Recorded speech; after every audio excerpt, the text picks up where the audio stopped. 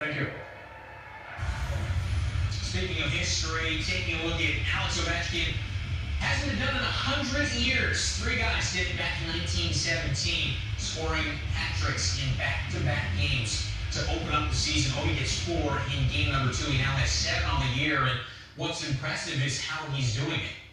Yes, in every way, absolutely. Like I said, he's shooting the puck, he's deflecting the puck, he's in his office, his spinoramas, and then he doesn't have to shoot them. And he still gets credit for the fourth one on that. That's the beauty of it. I mean, this one, just a smart play choice. Extend the play along the wall. You draw two defenders. Don't try anything silly. Just a smart little play. Advance the puck forward. And now see him in the, in the encircle. Watch his roll, spin around him go. Spinorama. Spinorama with excellent control of his edges on his skates. Look at that control. Takes advantage of the puck on edge. Very difficult for the tender. Now, not to be outdone, now he goes to the OP opposite. Watch his vision. He sees half the net is open. It's just a matter of what spot he's going to pick.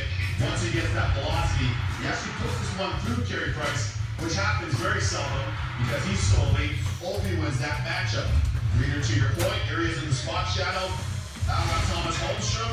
He has his full routine on his back. Carey Price trying to take away the low part of the net. Connor Holmstrom, as you pointed out, doesn't put up the stick. Defense 101.